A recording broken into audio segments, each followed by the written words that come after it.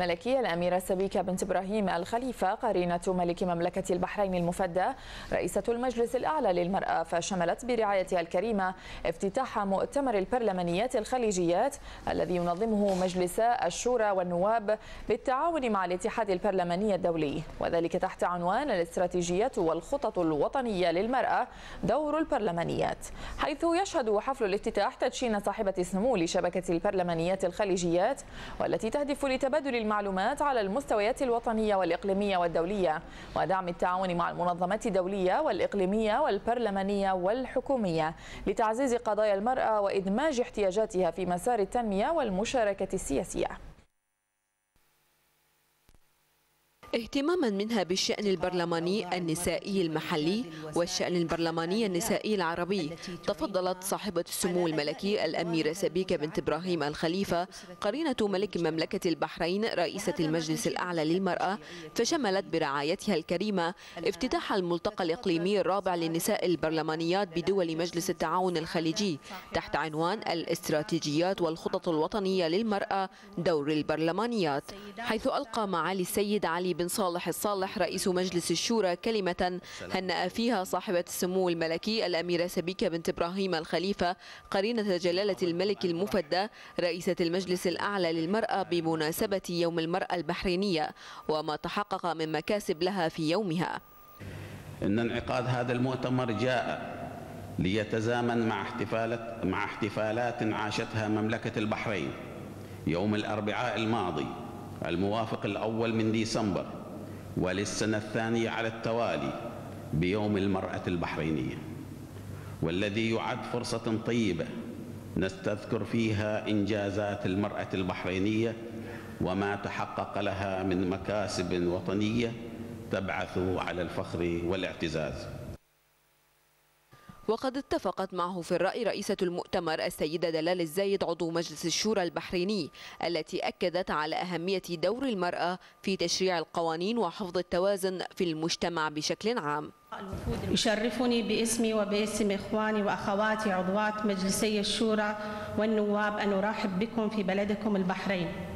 ومثمنين لكم هذا العطاء لدعم مسيرة المرأة الخليجية. فخورين بما حققناه من إنجازات في كافة المجالات. ونحن نجتمع اليوم والحمد لله للمرة الرابعة وبتعاون وشراكة مع الاتحاد البرلماني الدولي الذي يسعى لتوفير كافة الإمكانيات للدفع وتعزيز دور المرأة في السلطة التشريعية ورفع القدرات والمهارات لها.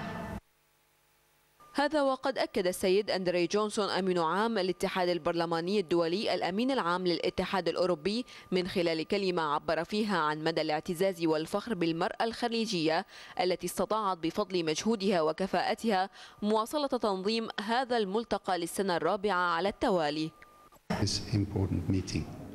أتوجه بالشكر إلى صاحبة السمو الملكي قرينة ملك البلاد والشكر إلى النساء البحرينيات عامة وأخص عضوات مجلس الشورى والنواب التي تكرمن بدعوتنا لنتواصل معا من خلال هذا الملتقى سعيا إلى إنجاحه. فيما جاءت الآراء مترابطة حول دور المرأة في جل مجالات الحياة بدءا بالأسرة والمنزل والمجتمع والبيئة مرورا بقضايا المجتمع والتشريعات والإعلام.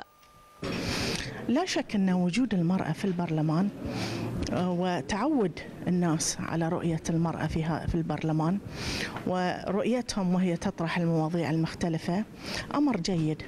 لكننا لا نستطيع أن نقول بأننا حققنا الهدف النهائي أو المرجو من هذا الأمر. لا زلنا في بداية الطريق ومحتاجين إلى الكثير من العمل في مجال التمكين السياسي للمرأة وفي تمكين وصولها إلى قبة البرلمان. الحقيقة ما نراه من جهود بتتم في مملكة البحرين بتوضح الدور الريادي والدعم الكامل من جلالة الملك والسيدة الفاضلة راعيه المؤتمر للمرأة البحرينية. وده لاحظناه في أداء إيجابي ومشاركة ومساهمة فعالة من المرأة البحرينية في جميع المؤتمرات والندوات السياسية والمداخلات التي تقوم بها. أنا بشوف كمان أن عضوات مجلس الشورى لهم دور مهم في صياغة الاستدراج. هناك علاقة قوية ما بين مجلس الشورى وبين المجلس الأعلى للمرأة اللي بترأسه صاحبة السمو الملكي سمو الشيخة الأميرة سبيكة بنت إبراهيم. الخليفة. فهنجد ليه أهمية هذا؟ إنما نقول أي خطة الخطة لابد أن ما تكونش نتيجة فكر نخبوي لمجموعة من النساء وإنما لابد أنها بتكون بتعكس قاعدة عريضة من النساء. لأن لو كانت بتعكس فكر نخبوي هينتهي الأمر أن الفئات كبيرة من السيدات أو المرأة في المجتمع هتكون مجرد متلقية للخدمة وبالتالي بتبتعد عن موضوع التمكين. على البرلمانيات بشكل عام أن يسعوا إلى الإعلام. وأن يفهموا ضرورة وأهمية وقوة الإعلام لإيصال رسالتهم. فلا يمكن أن يكون أن سواء برلماني أو برلمانية أن يجلسوا في مكانهم ينتظروا أن الإعلام يأتي ليستقطبهم بينما هم من يجب أن يستقطبوا الإعلام لإيصال رسالتهم. إن كان هناك رسالة هاي نقطة. النقطة الأخرى نرجع إلى إلى موضوع إن كان هناك رسالة. دائما من يملك رسالة أو قضية يستطيع أن يوصل صوته ويسمع الآخرين صوته. فأنا أتمنى أن يكون لكل برلماني أو برلمانية قضية حقيقية ورسالة حقيقية يريد أن يوصلها. هذا وقد تم عرض فيلم خاص بشبكة البرلمانيات الخليجيات التي تعمل على ربط النساء الخليجيات في الأجهزة التشريعية في المنطقة بهدف تبادل الخبرات والتجارب ومواجهة الصعوبات حيث استعرضت الدكتورة عائشة المبارك عضو مجلس الشورى أهداف شبكة البرلمانيات الخليجيات في تعزيز مشاركة المرأة الخليجية والتعريف بالإنجازات السياسية والبرلمانية وإبراز قصص نجاح للمرأة الخليجية في مجال مجال العمل السياسي. وفي ختام حفل الافتتاح تفضلت صاحبة السمو الملكي الأميرة سبيكة بنت إبراهيم الخليفة قرينة عاهل البلاد المفدى رئيسة المجلس الأعلى للمرأة بتشجين شبكة البرلمانيات الخليجيات والتي تهدف لتبادل المعلومات على المستويات الوطنية والإقليمية والدولية ودعم التعاون مع المنظمات الدولية والإقليمية والبرلمانية والحكومية لتعزيز قضايا المرأة وإدماج احتياجاتها في مسار التنمية والمشاركة السياسية كما وقامت سموها بالمشاركة في فعاليات الجلسة الأولى من جلسات المؤتمر.